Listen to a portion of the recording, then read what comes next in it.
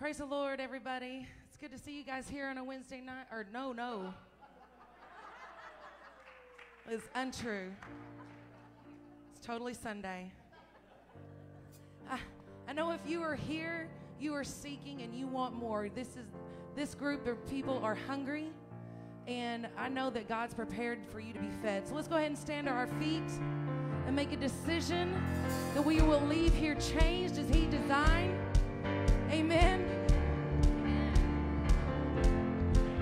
There is a river where goodness flows. There is a fountain that drowns sorrows. There is an ocean deeper than fear. The tide is rising.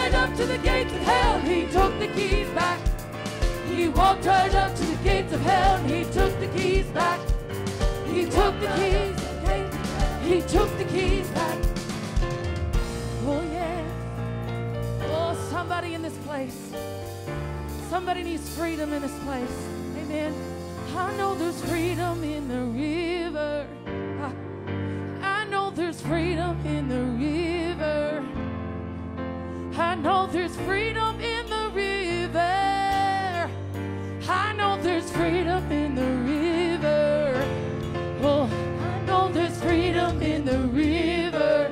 Oh, there's freedom. I know there's freedom in the river. Ah, there's freedom. I know there's freedom in the river. I know there's freedom in the river. Come on. So he walked right up to the gates of hell. He took my family back. He walked right up to the gates of hell. He took my family back. He walked right up to the gates of hell. He took my family back. He walked right up to the gates of hell. He took my family back. Come on. He walked right up to the gates of hell. He took my family back. He walked right up to the gates of hell. He took my family back. He walked right up to the gates of hell. He took my family back. He walked right up to the gates of hell. He took my family back. He walked right up to the gates of hell. He took my family back. He walked right up to the gates of hell. He took my family back. He walked right up to the gates of hell. He took my family back. He walked right up to the gates of hell. He took my family back. Take your family. He walked right up to the gates of hell. He took your family back. He walked right up to the gates of hell. He took your family back. He walked right up to the gates of hell. He took your family back. He walked right up to the gates of hell. He took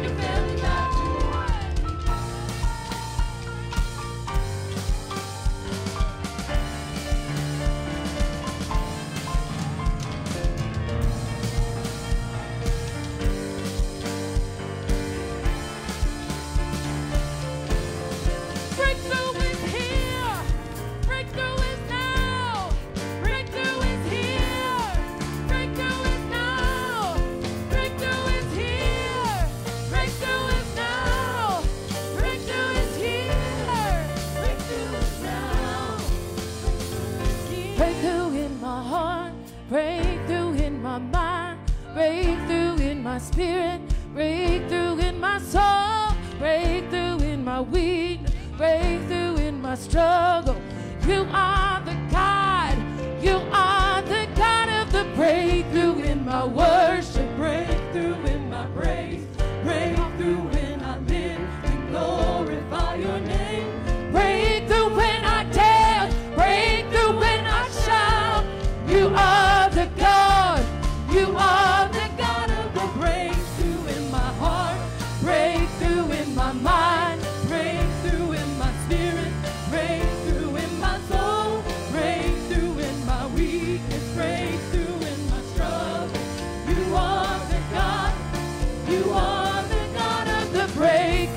My worship. Breakthrough in my praise. Breakthrough when I live and glorify your name.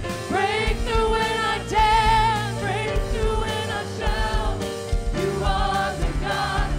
You are the God of the breakthrough. Walked right up to the gates of hell. He took my family back. He walked right up to the gates of hell. He took my family back. He walked right up to the gates of hell. He took my family back. He took my family back. He took my family back. He walked right up to the gates of hell. He took my family back. Breakthrough when I live and glorify your name. Breakthrough when I dance. Breakthrough when I shout. You are the God.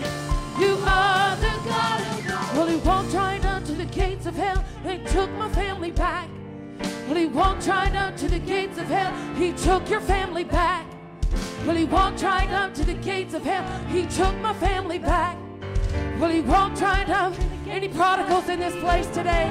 Hey, well, he walked right up to the gates of hell. He took my family back.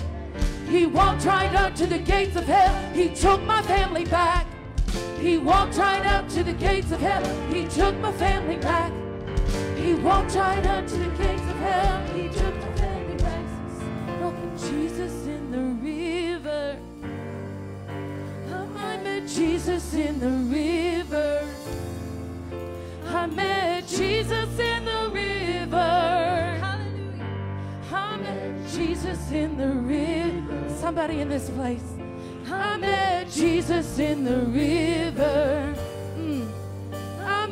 Jesus in the river.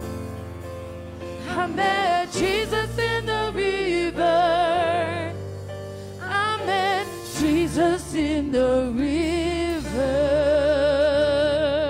Hallelujah. Thank you, Jesus.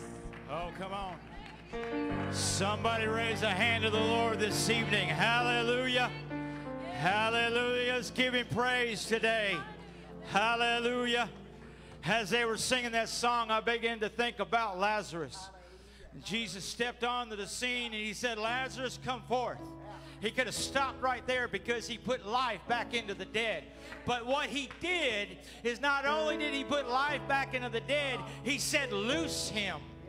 He, gave, he took the bonds that was holding him in death and took it off. There's one thing to take Jesus to somebody, but there's another thing to take the liberty of the freedom of bondage being taken off because of him. That's what Brother Tolbin does in Mexico. Not only does he take the freedom and the liberty and the life giving blood of Jesus Christ, but he gives them the opportunity to step into the Holy Ghost and be free from the bondage of poverty. But it doesn't mean that they're full of money in their pockets, but he gives them joy through the Spirit of God because he presents not only liberty, life, but freedom from bondage. So we want to take an offering for Brother Tolbin this evening, and I think it goes to the fish. If you're going to go tonight, if you're going to go through, I'm sorry. Oh, if you're going to go through tonight only, it goes to the fish. If you're going to do it on your phone or write a check, write a check to Brother Tolbin or here. Okay, if you're going to write a check, write it here. If you're going to go online, text, put it to the fish, mark it there. But we want to give this work. Uh, Brother Tolbin and I met a couple years ago. He came over when we were over in Salem. What you, what an absolute wonderful work you're going to see.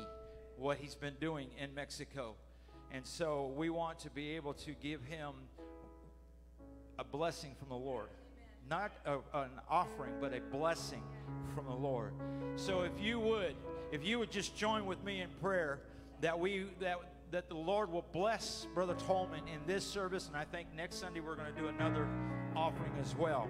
So if you have an offering tonight, I would ask that you would give it. But let's just lift a hand to Him this evening. Mighty God, Lord, we thank you for the work that you have done, not just within the borders of our country, but Lord, throughout this world. Lord, that there is a harvest that is, that is white and ready to be harvested today. Lord, for men and women that will step out into the unction and the following of the Holy Ghost, to be able to leave their homes and step out and bring your word towards people that are hungry for you. Lord, as we take this offering this evening, I ask that you bless it. Bless it to the work in Mexico today. Lord, allow this service to continue. We give you the glory and the honor in Jesus' precious name.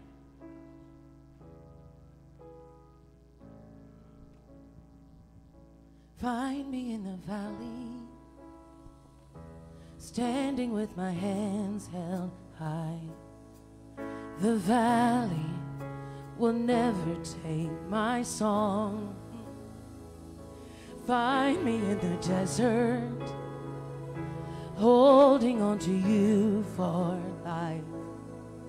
The desert will never take my song.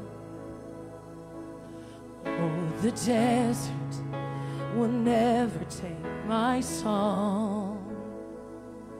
And I will praise you. I will.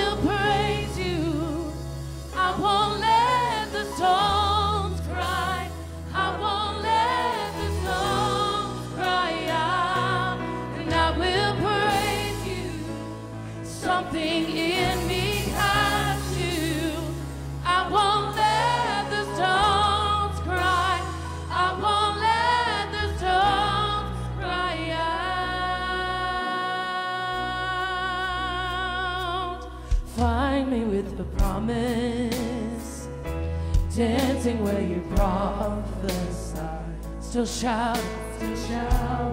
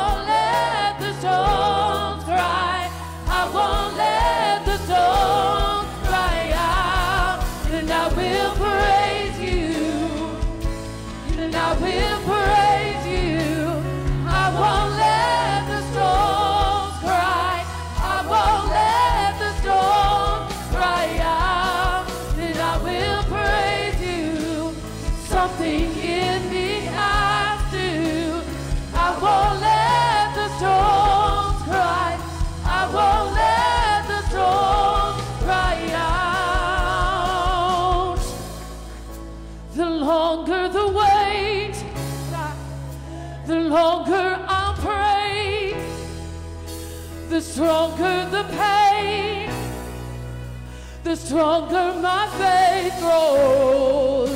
The higher the need, the higher I'll reach. The higher I'll reach. The greater the cause, the greater the cost. The more I believe for, the longer the wait, the longer I'll pray stronger the pain, come on, the stronger my faith grows, the higher the need, the higher I'll reach, the greater the cost, the more I believe.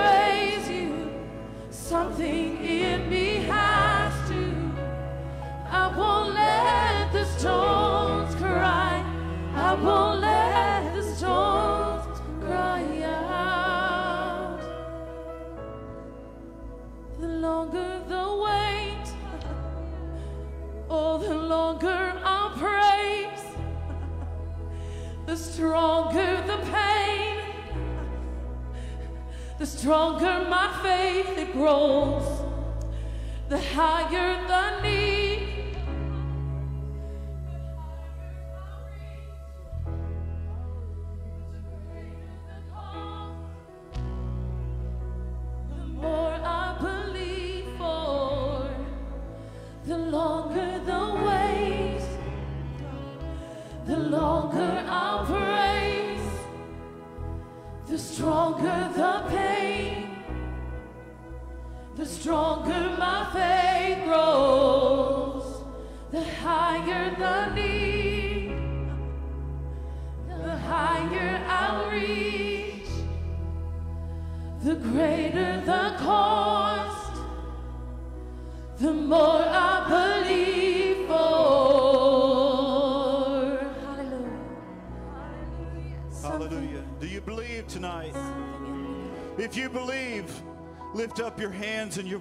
Right now.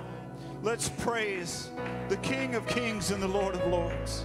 Hallelujah. Let's not let the stones cry out in our place. Hallelujah. I want to worship him right now. Thank you, Jesus. Thank you, Jesus. Hallelujah. This is Pentecost Sunday night.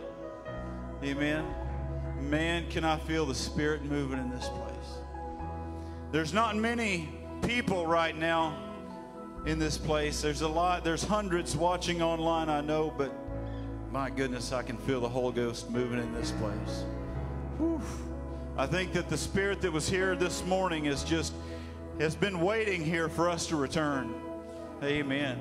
Hallelujah. Hallelujah. You may be seated for just a moment. As you all know, we have, we're privileged, very privileged. It's been a very long time since we've had an opportunity to have a missionary or any, anyone from overseas because of the pandemic. So we are very glad to have Brother Steven Tolbin come on to the platform, brother. Let's give him a, give him a hand tonight. And before he comes, I'm just going to come and ask him to take his liberty in the Lord tonight. But before he comes, I want to just talk to the church about what a missionary represents, what a missionary truly represents. And you know, I may never, I may and I may not ever go to Africa and preach. You may or may not ever go to Africa and, and, and teach, or to Mexico, or to South America, or to wherever. If God calls me to be a missionary, I'd hope it's like to Jamaica, you know. But I feel like I'm a missionary to Bryant. What a missionary overseas really represents is a great opportunity for you. Because someday I intend to go to heaven. I intend to see the Lord face to face. And I hope, I hope that whenever I turn around that there are people coming through the gates from Mexico. Hope there are people coming through the gates from Africa and South America that I've never met that will come up to me and say, I'm here because you gave. I'm here because you, you made it possible for that missionary to come and witness to me and preach to me and preach the truth of repentance and baptism in Jesus' name and the infilling of the Holy Ghost.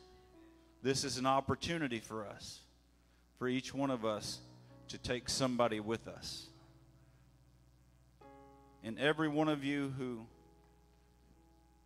wrote a check, every one of you who put money in the plate, and every one of you who gave online tonight, and we'll do another offering next week whenever much more of us are here.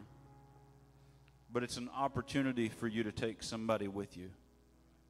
Opportunity that whenever you get to heaven, you can turn around and they're going to say, You know what? I'm here. You've never met me, but I'm here because you gave. Amen. Brother Tolbin, come and take your liberty tonight. Thank you for coming.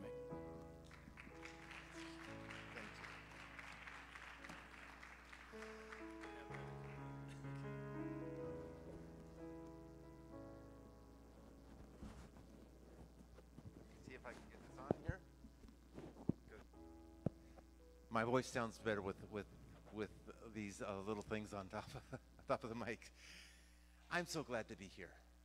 It's it's a, it's a pleasure. It's a joy. I've not been in, in this building before, but I'm glad to be able to come here and meet you. Uh, I'm Steven Tolbin, and my family is, is my wife Marcella, uh, my children uh, Lisa, Timothy, and, and Peter. They're all working with us together in the in the ministry in Mexico. And before I I start into the message, I want to show a little bit of what God is doing in Mexico. If if you can put up the PowerPoint, let's see if it comes through. We're Seed Time and Harvest Ministry. Next slide. uh, the ministry team. Uh, the, some of the pictures did not come through, so don't don't worry about that. That's my wife and I, uh, Marcela and I. Paco is my son-in-law, and my wife and my daughter uh, Elisa Valdivia. Lily Castellanos is, is my sister-in-law. Jacob and Delia are two people which are what we call our street kids. When we moved to, to San Pedro, you've got to understand San Pedro is a place in the high desert in the center of Mexico. And uh, we moved from the city of Tepic, which is subtropical. God moved us there, and it was a whole miracle how he, how he got us there. But we started working with kids on, on the streets. Uh, the area had a, had a huge drug problem. We started working with, with uh, a drug rehab and things like that. But as we began to get more and more kids in, kids who didn't have families, and we started raising them and that, and a lot of, the, of these kids we put through school, and they got married, and the, many of them moved out to other cities because uh, there's a high immigration rate there.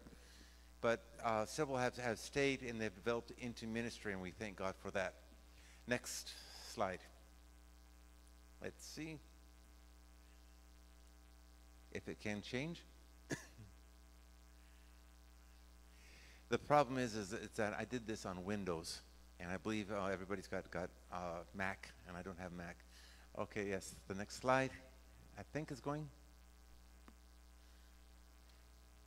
Okay, yes. Uh, our main church is Templo Cristiano Libertad. Libertad is, is freedom, Freedom uh, Christian Temple. We're called Freedom because we live on Freedom Street. That, that literally, the, the, name of the, of the street is Freedom Street, and so we, that's the name of, of the church. Uh, we have weekly services. Even in, in COVID, we were able to, to divide up the, the, the church in, in multiple cell groups. I brought in, I I got 15 leaders, and we divided the church into groups of, of 10 or less people, and, and they had to pastor those, those, those people. And since May, we have grown 30%. In COVID, we grew, and we thank God for that. We're involved in missions. We send out missionaries. We have many sister churches. We work with addiction recovery. We do a lot of soccer outreach. We do a lot of out, outreach through, through soccer and uh, outreach in aid to vulnerable areas and to local people. We were th- between ourselves and our sister churches, we probably handed out more than 3,000 um, uh, groceries, or helped more than 3,000 families th- with groceries in this in this time, because when COVID hit, uh, there were whole neighborhoods where people were just closed in, and, and you go down the street and you'd see a sign on the door that says, "We're hungry, we can't get out," and so we would take food to to, to those people. Next slide. Okay, well, who are we? We're a lot of things. The guy who you see standing at the, at the bottom, he was a gang member and, and he got a brain tumor. He was, was operated on and they said he had no hope and God healed him. And we, we thank God and he's serving God strongly today. We do a lot of soccer ministry. You can see uh, some groceries which we're giving there. This is uh, one of our soccer schools in, in Honduras. And, and God is expanding the work more than we can even imagine. Next, next slide.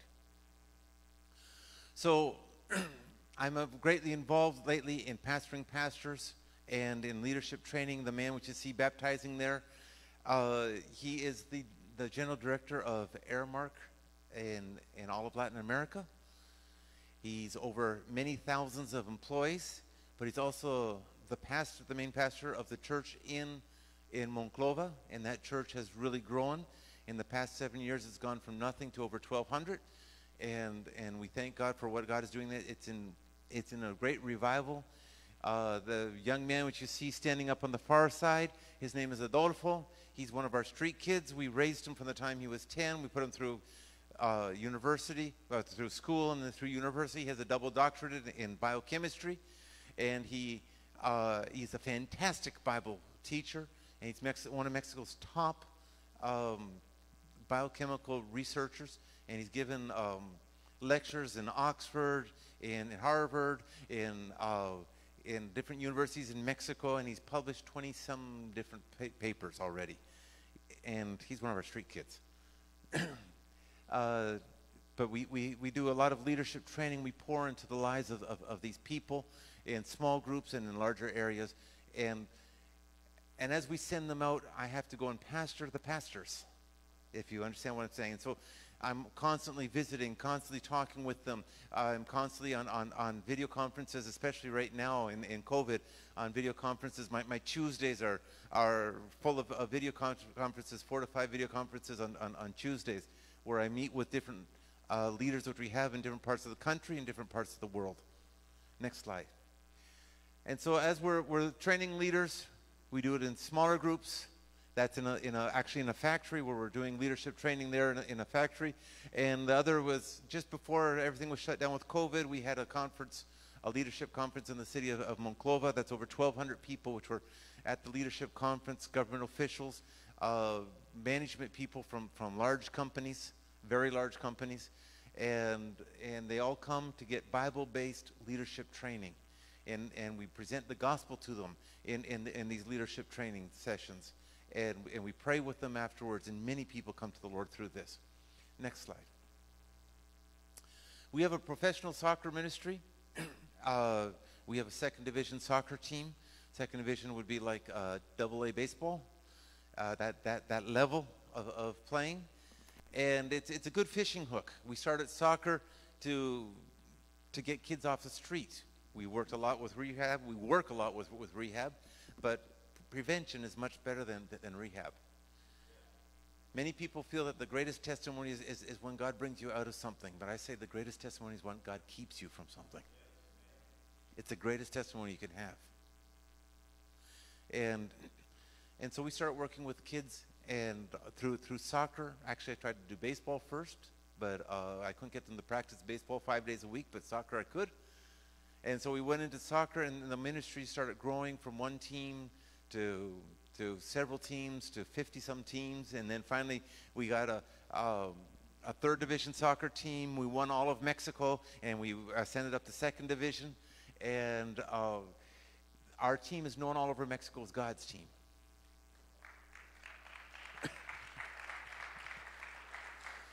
the guy who you see heading the ball there, uh, he called me just as I was leaving the country, the, and and he's in a he's on a team, a higher level team right now playing, and he said, uh, brother Steven, he said, I need to be baptized.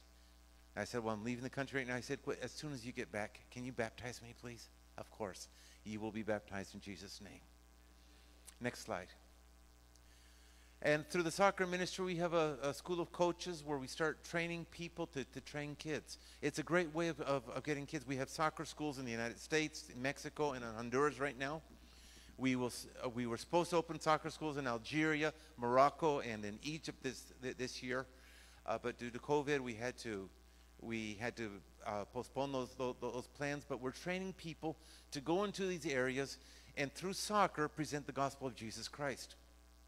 Anybody who goes into our soccer program has to go into, uh, we have daily Bible devotionals which, which, go there. We have to learn how to pray. And we, we present Jesus. In the, in the Muslim countries, we do not uh, go in as presenting ourselves as Christians. We go as uh, presenting ourselves as disciples of Jesus Christ. And, and, and they accept it. As disciples of Jesus Christ, okay, it's fine. Uh, Christianity, uh, they, they had that problem with the word Christian. So we just say we're, we're disciples of Jesus Christ. We're followers of Jesus. And, and it's, a, it's creating a, a tremendous door to go into Latin America people, Latin American people into these Muslim countries a lot easier than we can send Americans in. And they can live at, at the level of the people and doesn't affect them.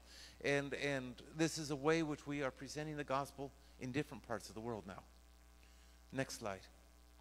And the, the School of Coaches is to present missions. Uh, I'd like to point out the girl who's, who's in, the, in the head covering there. That's actually a picture of, of Patti. This was a few years ago. She's one of our street kids. She came in through soccer. She was, uh, she hated God, anything to do with God, because let's just put it this way, she had been abused every which way you can imagine from the time she was a small child. And God miraculously touched her life through soccer. And, and she gave her heart to the Lord. And then she won her family to, to, to, to the Lord. And she finally went out to the mission field, first to Haiti, and then to, uh, to the Philippines. And there she's in, in the Mindanao area, the Muslim area of the Philippines. She's up in a in Abu Sayyaf camp. Abu Sayyaf is the Al Qaeda or the ISIS of, of, of the Philippines. They are fighting, they are terrorists fighting for an independent Islamic state in the south of the Philippines. And she's up in the main camp.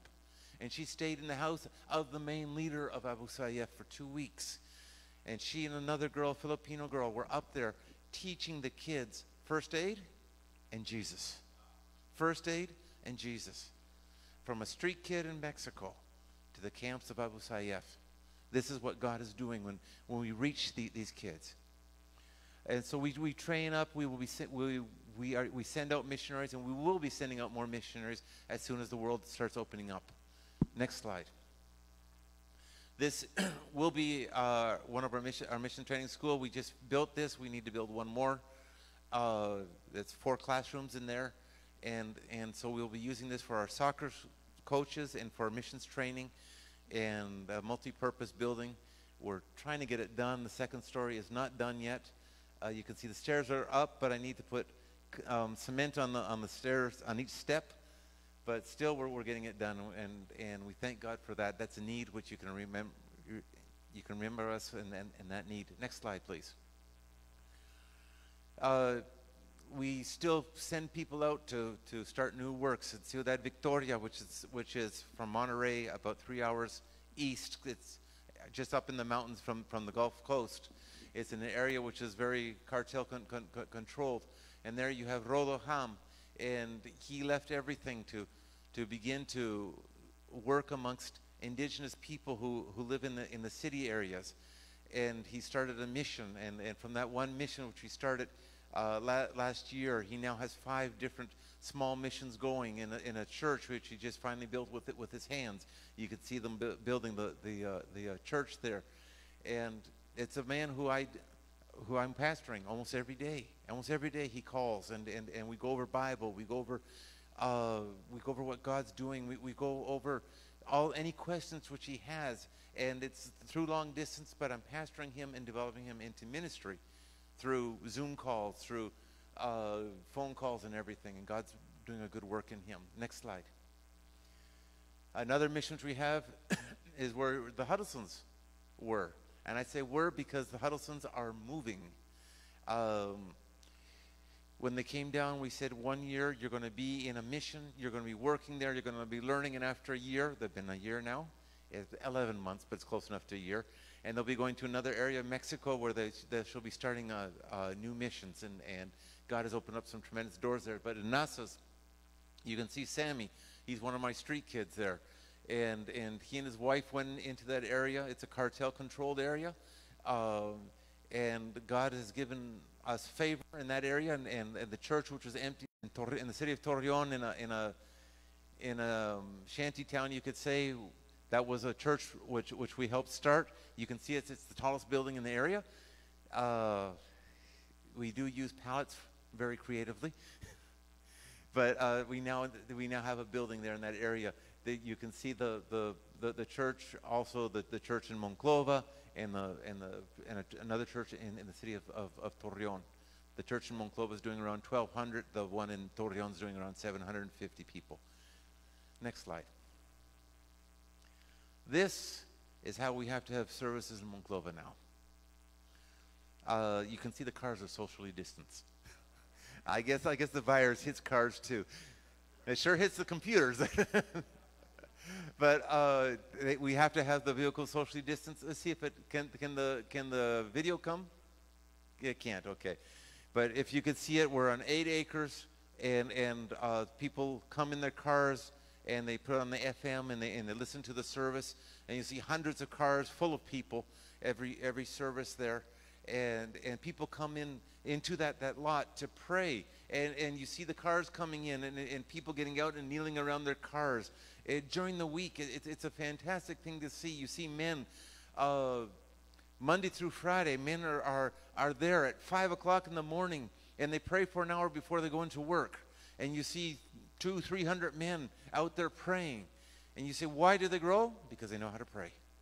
They know how to pray. And we have just bought a, a tent there, which will seat 3,000 people. And, and um, we don't have, it's growing so fast right now, we, we're not going to build the building until we know what, what the growth will, will be like. Next slide. We work a lot with addiction recovery. Next slide. Uh, we have girls and guys. we bring Jesus to them. We use a celebrate recovery type type system, but it's it's this inpatient. It's three months closed in. These people uh, come in. They have addiction problems with many different things, and we have about 20 girls and, and 50 guys right now in, in, in, in the rehab. Next slide. And you can see how God is changing their, their lives. And you can see the, the, the joy in their face. It's, a, it's, it's something which is tremendous to see how God changes lives. He can take the most broken life and make it new. Next slide. I believe that's I believe that's the final one. Yes, that's the final one. And so that's just a brief overview of, of, of what we're doing in Mexico and what God is, is doing. Things are, are growing very, very greatly. Like there in the rehabs, we also teach them music. We're, we're looking for more and more guitars because we need the rehab. We had about 20 people, and in the time of, of COVID, we've gone up to 70. We've had to move the, the rehab center. We have in a, in a new place. We took over a kindergarten, which uh, went bankrupt, a private kindergarten which went bankrupt, and, and we took over that area, and, and we made a, a dorm for girls and a dorm for guys, and uh, and it's filled up. It's filled up. I'd like to speak a little bit today about fear and faith. Fear and faith. Let's go to Hebrews 11, verse 1 and then verse 6. I'm going to have the, the verses put up on here because I'm going to go through a lot of verses, but th- these will be my, my main verses which I go. Now, faith is the substance of things hoped for, the ev- evidence of things not seen. For by it the elders obtained a good testimony. But without faith it is impossible to please him, for he i- who comes to God must believe that he is, and that he is a rewarder of those who diligently seek him. Let's go to Job chapter 3, verse 25.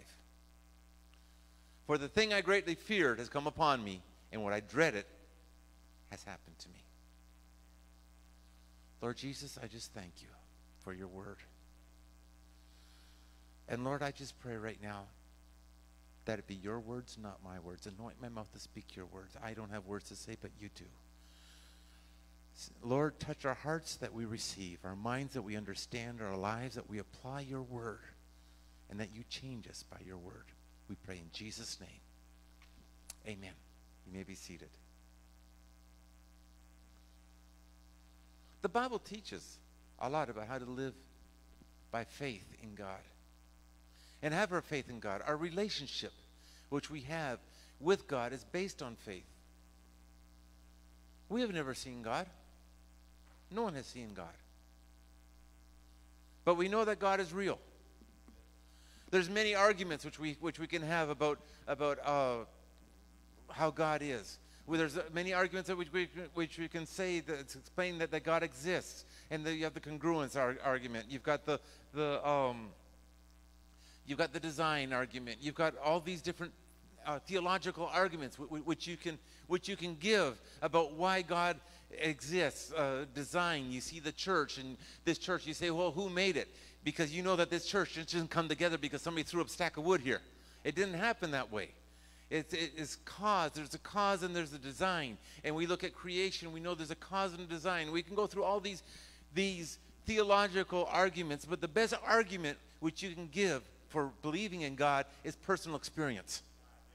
No one can deny your personal experience. They can try to argue with theological things. They can try to argue with, with, with philosophical arguments. But no one can deny what God has done for you. I know God is real because I know He healed me in 1995 when I had two weeks left to live and I weighed less than 100 pounds. And God picked me up and God healed me. I felt the fire go through me from my top of my head to the soles of my feet. And I know that God is real. We know that God is real, but we have to believe in it. We have to have that faith. It's like, it's like the wind. We can't see the wind, but we know the wind is real. We can't see God, but we know He's real because I feel Him. I know He's here. No one can tell me that, oh, well, are you sure that God exists? I know He exists. He's been too real to me. But many times, unfortunately, as Christians, we live in more fear than we live in faith.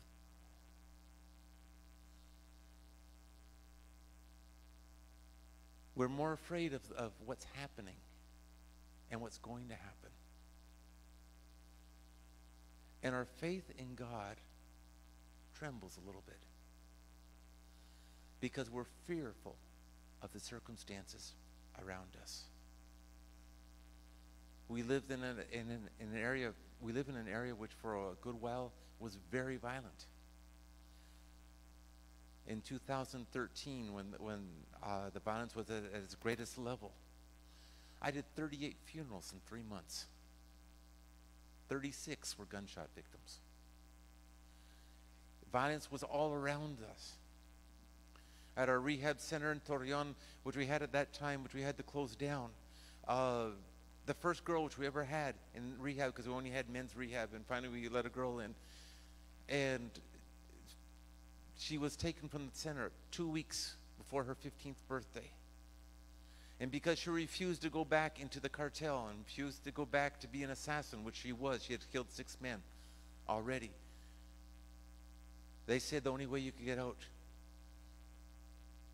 is if you kill your sister, your mother, or you die yourself. And she said, I'll, I'll die. They gave us her head back in a plastic bag. These things can cause fear. But God does not want us to live in fear. Fear you cannot see also, just like you can't see faith. But fear is real. And we must avoid a spirit of fear. So, what is faith then? What's the definition of faith? What's the definition of fear? You can put this up. I believe it's the next slide. What's the definition of faith? What's the definition of fear? Well, let's just, basically, we can say faith is the belief that something which has not happened will become reality in the immediate or distant future. That's, that's a basic definition of faith. Belief that something which has not happened will become reality in the immediate or distant future. Then what is fear? Fear is a belief that something which has not happened will become reality in the immediate or distant future. You said, well, that's the same me- definition, same meaning. The difference between the two is not the definition, the difference is the root. The difference is where it comes from.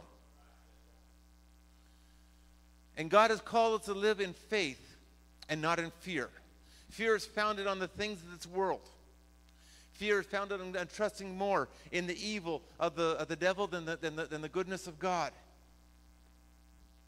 Fear concentrates on failure. Fear will tell you, you know what? You've failed before, you're going to fail again. Fear will tell you, you know what? You failed before, you're going to fall again. There's no use serving God because you're going to fail again. That's fear. Fear will tell you, you know what? There's a pandemic here, and you, you better just close yourself in and don't talk with anybody because it, you're going to get sick and you're going to die. You say, but it's real. Yes, it is real. I've had to bury a lot of people in this pandemic. And I've seen people who God has healed and have risen up from the ventilators. But the thing is, fear closes us in. Fear tells us, you know what, we can't do anything right now because we're in, we're in a pandemic. And so we got to wait until the pandemic ends so that God can move. But I'm telling you right now that God can move in the middle of the pandemic. We know that. Fear concentrates in destruction. Job lost everything. But what was the, the root or the cause of him losing everything? He opened a door to the enemy when he said, The thing I feared has greatly come upon me. He was fearful that his children would walk away from God, so he was constantly making sacrifices for them.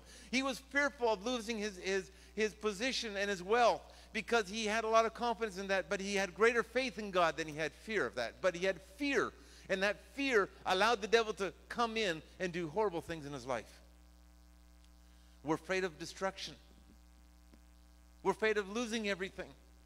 We're afraid of losing our pension, uh, losing, our, our medical insurance. And God, I can't do that because I got a good job. And if I do that, I'm going to have to change my jobs and I'm going to lose my medical insurance. I'm not against medical insurance. Please don't get me wrong. I'm not preaching against medical insurance. I've got medical insurance myself. But we can't live in fear. We can't live in fear. Fear concentrates on shame. Shame from what we have done. Embarrassment that people might find out and know some hidden things in our lives. Many Christians live with hidden sins and they're fearful of people finding out about them because it embarrasses them. And because it embarrasses them, they never become free of the fear of being found out because they have not confessed. They hide it. But now I'm digging a little bit too much. We have fear of pain. Fear of vain imaginations which come and torment us and things which wake us up at night and we can't get back to sleep because of the fear. John 10:10 10, 10, Jesus says the thief does not come except to steal, to kill and destroy. But I have come that they may have life and may have it more abundantly. We don't have to let the enemy steal and destroy.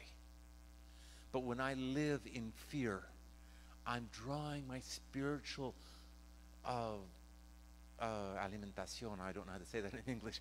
I'm drawing my, my, my, my spiritual strength from the wrong source. I'm not drawing it from the Word of God. I'm not drawing it from the Holy Ghost which flows through me. I'm not drawing it from time in prayer. I'm drawing my strength from things of this world which control my mind and my spirit more than the Spirit of God.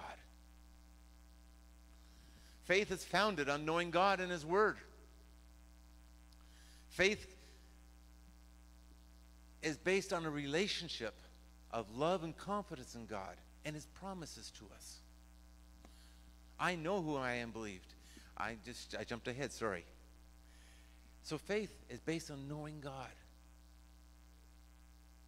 we must know God. There's one thing knowing about God, but there's another thing knowing God. There's a huge difference between knowing about a person and knowing a person. Brother Walt and I have got a great relationship. He's my personal pastor. We have known each other for many years. And I know a lot of little details about him. I don't know everything, but I know a lot of little details. And he knows a lot about me. And that's caused a great friendship. He presented me to a person today, and he, he said, Now, this person, this and this and this. And, and I went and prayed with them, and, and I know that God, God touched them. I know God, God works in their life, but I don't know them. I know about them. But faith is based on knowing God. 2 Timothy 1:12 says, "For this reason I suffer these things.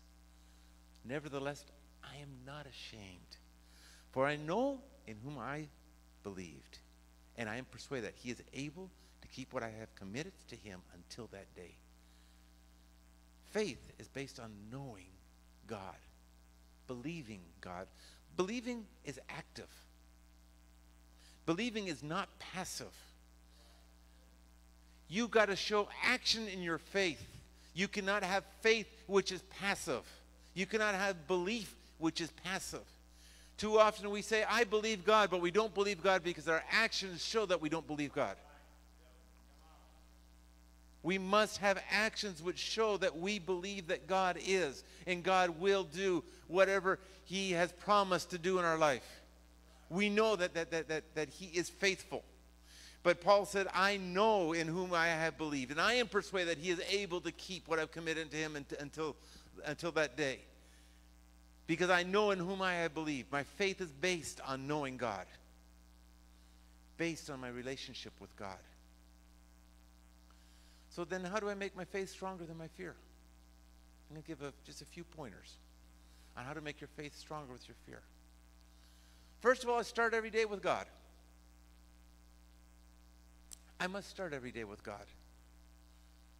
Too often we start our day with Good Morning America or Fox and Friends.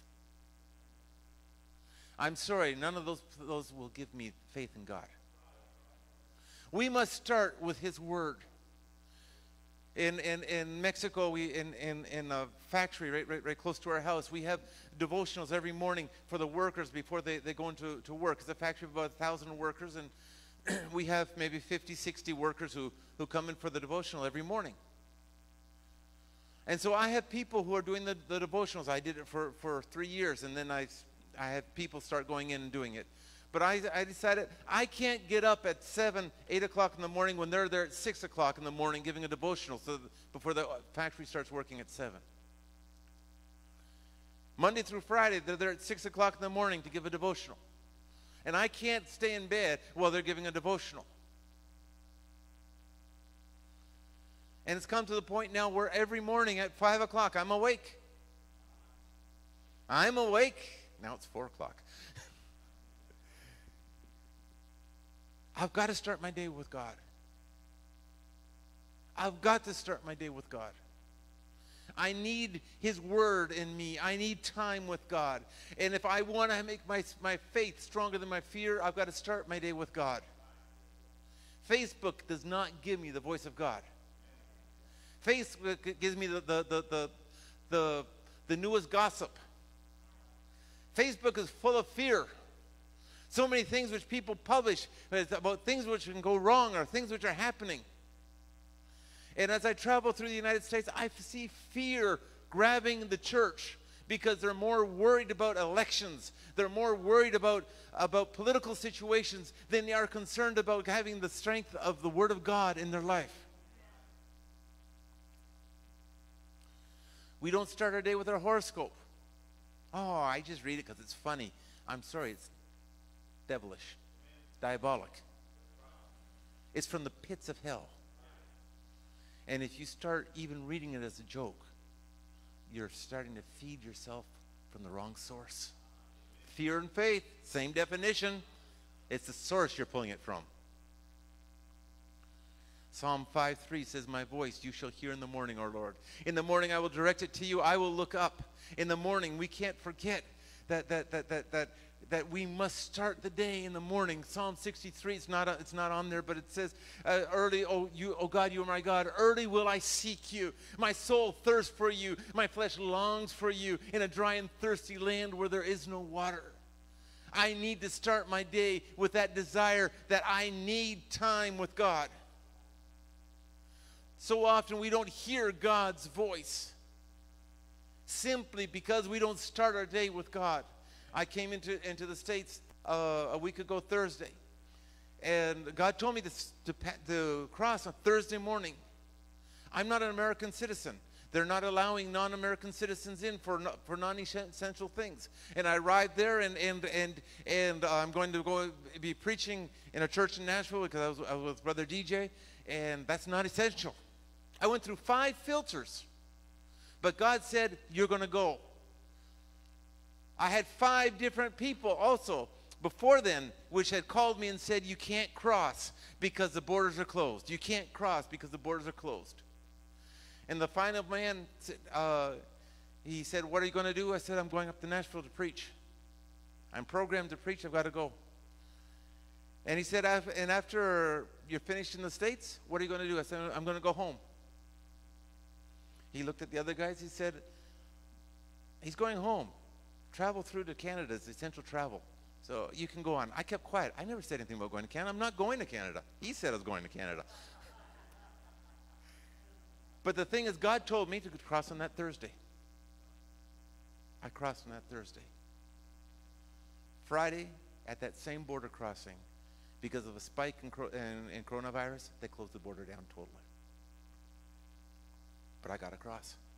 God speaks to us, but we must start each day listening to his voice. So, the first, to make my faith grow stronger than my fear, I started every day with God. Second, I see the good that God is working in us, even in the bad times.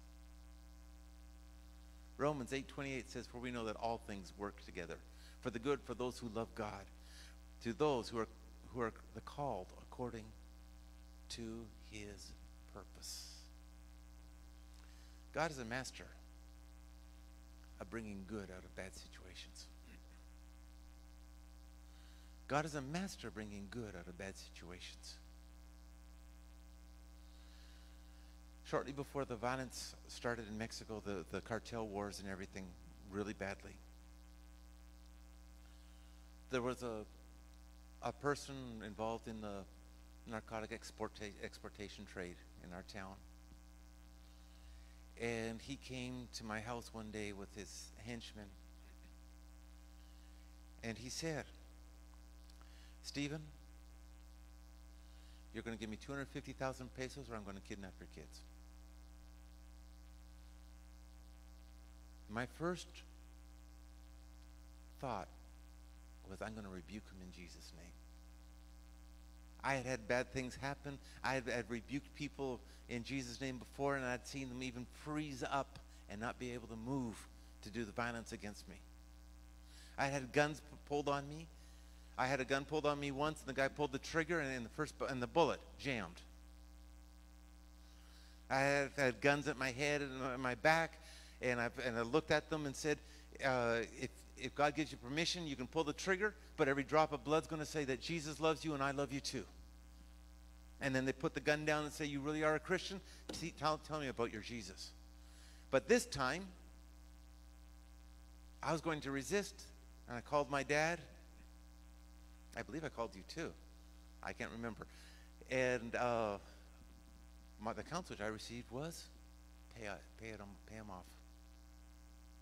We sold our car. I took out all my uh, all my savings, and I took a hundred thousand peso, which is was not much. A hundred thousand pesos was maybe uh, ten thousand dollars at that time. Loan out, out out of the bank. I paid him off. You say, well, that was bad. But what happened is the guy, the, the people who worked for him got angry because he said, You aren't supposed to touch Steven. Why can't I touch Steven? No, you don't touch him. And they all turned against him. And finally, one was, got angry enough with them that he shot him 10 times. He did not die. And as he was in a coma, God spoke to me and said, Go to the hospital and pray for him. So we went to the hospital and we prayed for him.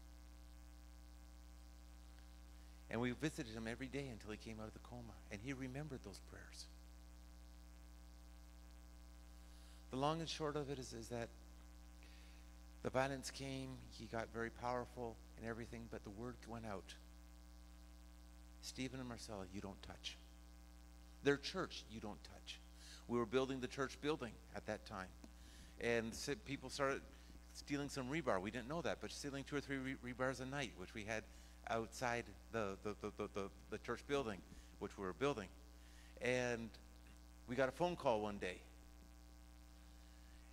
And they said, They're stealing rebar. They're stealing rebar. And I said, They're stealing rebar, but that, that's God's rebar. And Marcella grabbed the other phone, and she grabbed the other phone. She says, Who's stealing rebar? No, no, it's all right. We picked them up. We, we've got them. No, but they got to give back that rebar. That's God's rebar. No, they took about 10 rebars. Uh, don't worry about it. We'll, we'll, we'll take care of that. But don't, don't worry about that. But that's God's rebar, she said. She said, No, no, no, don't worry. We've got them here. We've picked them up. We're going to take them out to the desert. We're going to um, give them tablazos, or they're going to break some two by fours over their backs, and, and they won't steal from you anymore. Let's just put it this way nobody stole from us anymore. What happened? God's a master bringing good out of bad situations. God's a master bringing good out of bad situations. I don't care what your situation is. I don't care what you're going through with your family.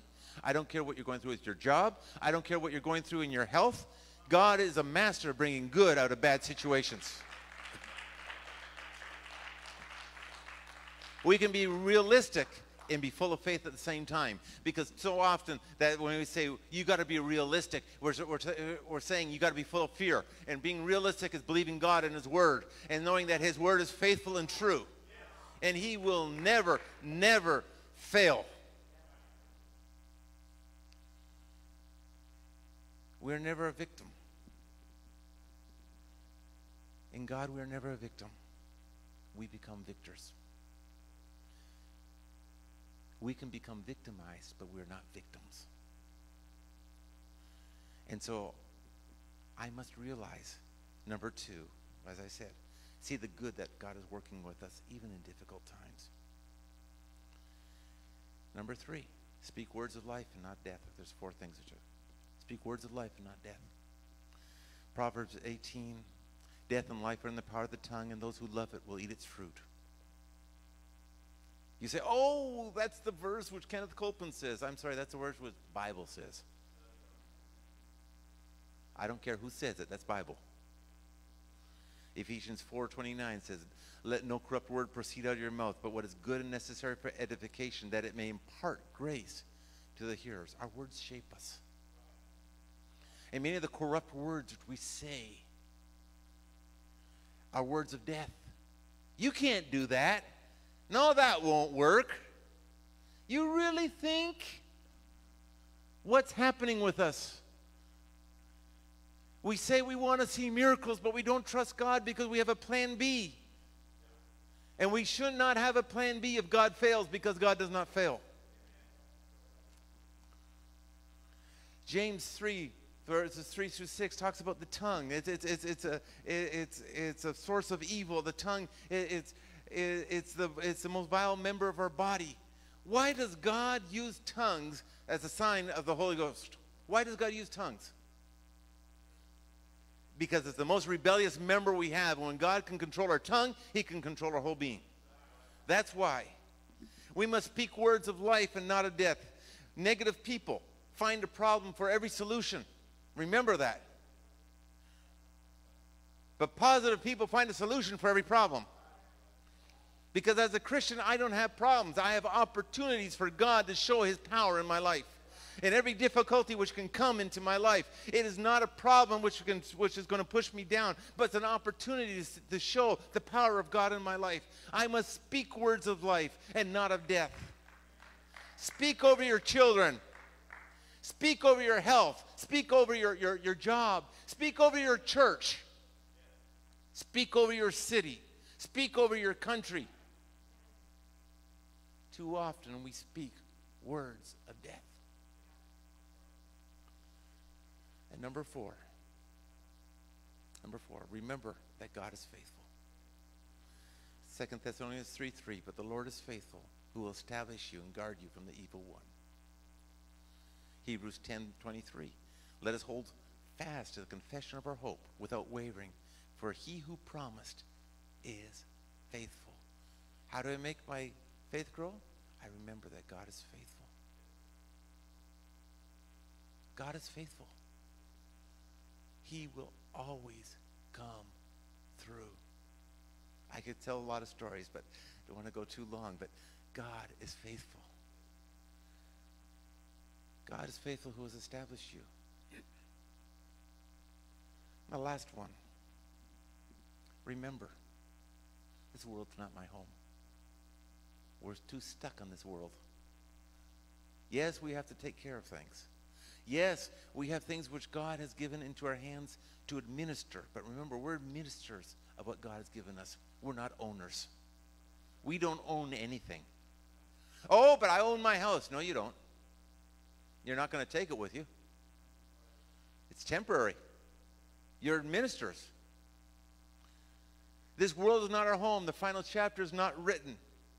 We are living for something eternal and not something temporal. So that when we things get difficult, we must live our lives a way which honors God and not honors the world. When things get tough, we live a way which honors God in everything we do because heaven is real. And we know that heaven is real. Before my mother passed away, she actually left us two days before she finally went. And we were all gathered around her in the hospital bed, and the monitor went flat for at least 10 minutes. Her breathing stopped and everything. You felt as if a presence left the room. And then suddenly, and we're still around that we didn't go for the doctor, we were just there and thanking God for her life. And then suddenly the monitor came back. That night, I, I stayed with, with, with her that night. And in the morning, she opened her eyes and she, she looked at me and she said, Steven, who died last night? I said, well, here in the hospital, I don't think anybody died. No, she said, somebody died last night. Who died? I said, Mom, well, I can check, but I don't think. She said, someone died. Who died? I said, Mom, you left us last night. And you came back. And she smiled. And she said, Yes. She said, I went through like a tunnel and there's a bright light on the other side. And it was beautiful. She did not describe what it was. She said it was beautiful. And two children with the face of Elisa came and said, Grandma, we've been waiting for you. We lost two babies. She knew of the first one, she never knew of the second one. There's no way she could have known about that second child. But she saw, and she said, Two children came and said, Grandma, we've been waiting for you. Heaven is real. Heaven is real. 2 Peter 2.13, nevertheless, we, according to his promise. So someone come up to the piano, please. Look for new heavens and a new earth in which righteousness dwells. Therefore, beloved, looking forward to these things, be diligent to be found in him, in peace, without spot, and blameless. Without spot and blameless. We have a choice of living in fear or living in faith. God has called us live in faith. But too often we are bound by fear.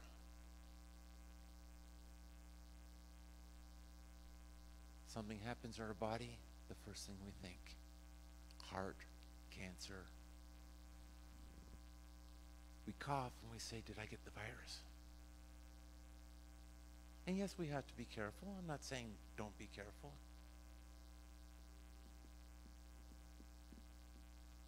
But we live in a world which is full of fear.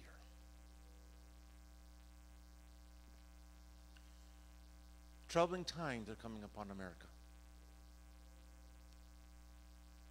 I'm just going to prophesy a little bit. Troubling times are coming upon America.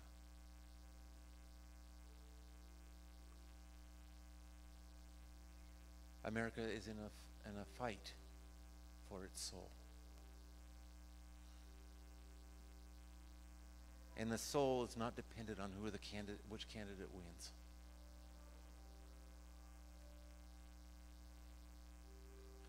America has walked away from God. America has done sacrifices to Moloch of over 60 million babies. Moloch being the god which they passed the children through the fire.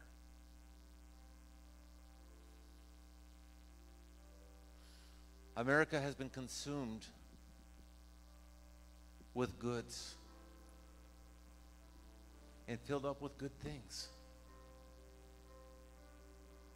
But as a nation, we have begun to trust in our things and not in God. And God is going to bring a shaking upon the nation, which will cause people to look to Him, cause people to realize that He is the only one who can save them. He's the only one who can change them. He's the only one who, who, who can restore them.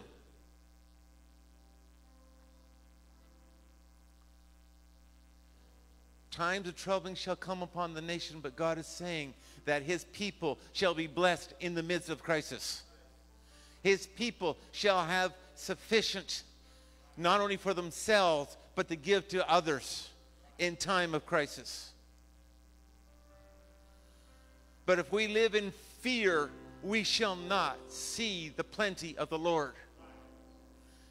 And God is calling his church to live in faith and not in fear. Too long we have allowed fear to bind us. We have allowed fear to, to hold us in. We have not seen the great revival which God has for us simply because we are fearful of what people will say about us. It's time for the church to get rid of fear. It's time for the church to stop closing itself in themselves in their homes and saying, I'm not leaving until the pandemic is gone. It's time for the church to stop saying, I need to hold, hold as much money as I can because bad times are coming, and, and if I don't have enough money, I won't be able to get through it. I'm sorry, but my God is my source.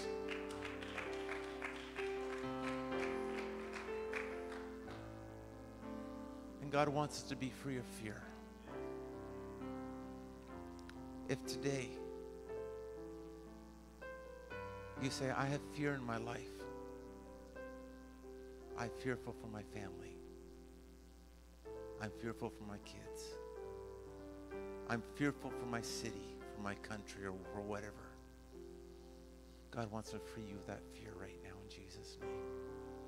And as they play, if you want to be freed from that spirit of fear and have faith arise in you, just come forward and respond to God. Not to me, to God. Don't come forward waiting to see who's going to pray for you. Come forward and say, Lord, take the fear and fill me with your faith. I believe. I believe in you. If God is speaking to you right now, come in Jesus' name. I'm no longer a slave to fear. I am a child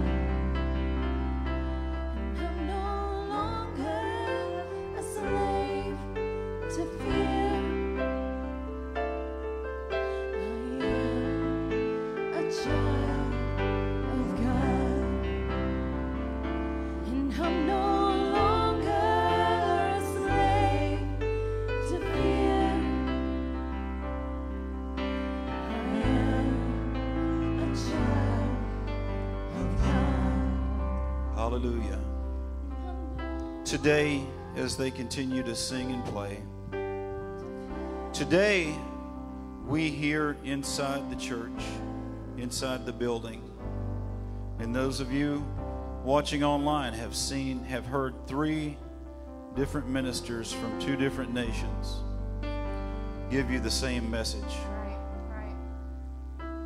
And it's not my words, it wasn't Scott's words. It wasn't even Brother Tolbin's words. It was the Word of God. That the great army that Ezekiel saw must assemble here. Once again, it is time, church. It is time to come home. It is time to lay aside our fears. And it is time to come together. If we are to be the church that God called us to be in this end time, and oh, it's full of trouble. It is so full of trouble. But we are called to be the light of the world in, in the darkness. And as the darkness closes in, we are to be the light. So I challenge you, each and every one of you, lay aside your fear. If you're truly a Christian, if you're truly a Christian, and, and I've had COVID 19, we've had members of our church pass away due to COVID 19. But if you are living in Christ, to die is to gain. And the best day of your life is your last day on this planet. I'm not afraid. And I would ask those of you who are members of this church, and you're very faithful, but it is time. It is time for us to be the people that God called us to be and lay aside our fears, whether they be of social unrest, whether they be of pestilence and disease, whether they be of political unrest, whatever they may be, it's time for us to lay them aside. And it is time for us to come together. It is time for the dry bones to be reassembled. Hallelujah. Thank you so much for that word. Thank you so much for that word. How many of you believe that we need to be partners with this ministry? Amen. I believe that. I believe that I'm, we're going to do that. I'm just going to speak that right now. We're going to we're going to do that starting tonight. It is uh, it's just so refreshing. I've always loved having missionaries in after such a long break without anybody being able to get into the country. It's it's so refreshing just to I don't know, just to see what God is doing not only here, but what God is doing around the world. And in these troubling times, I believe it's the perfect environment, the perfect environment for God to move. As a matter of fact, probably the best environment for God to move is in times of trouble. Because people come to God not because everything's going fine. People come to God when they're not. So it's it's the greatest opportunity that I've like I said I've been alive for 50 years. Greatest opportunity I know in the last 50 years for the kingdom of God to thrive and to grow and to save souls. That's why we were called to seek and to save that which was lost. Amen. Hallelujah. Dear Lord and Heavenly Father, we love you tonight. So very thankful for the word that you've spoken to us all day today and all night. I pray, Lord God, that you would bless the ministry that Brother Tolbin has in Mexico. I pray that his steps would be multiplied, and I pray that a great anointing, a greater anointing, would be upon his head than he has ever had as he returns to his country. I pray, Lord God, that you would use him in even greater ways than he's ever been used. and that the word would go out to the multitudes, and that they would hear it and they would receive it. And that this church could be some small part of that. That the membership of this church would join with him and with him with them to carry the truth of the gospel, of the mercy of God, and his grace, and of his power to the world. In Jesus' name we pray. Bless your people. Bless your people all over the world tonight. I, I ask you, Lord Jesus, to bless your people. Make of us what you would have us to be. Forgive us of our sins. Cleanse us and make us instruments of your temple. In Jesus' name we pray. Amen. Thank you all for coming out tonight. Next Wednesday and next Sunday, I think we need to meet here and just fill this house. Fill this house with people and fill this house with praise. God meets me in here every day. And those of you that, that are, haven't been able to come, God misses you being here. And so do we. Your family misses you. We love you very much. We'll see you soon. God bless you.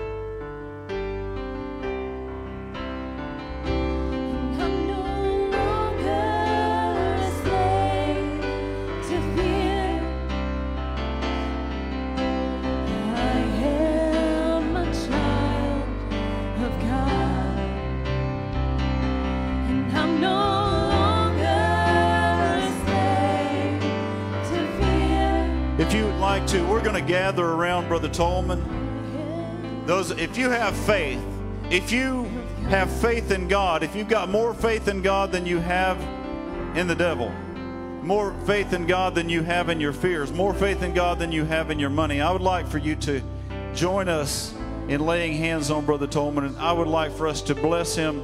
We're going to bless him financially, but I would like us to bless him spiritually and send him away from this church with a fresh anointing, with a, a spiritual anointing that will that will allow him to go into places that he's never been, to speak to people that he's never spoken to.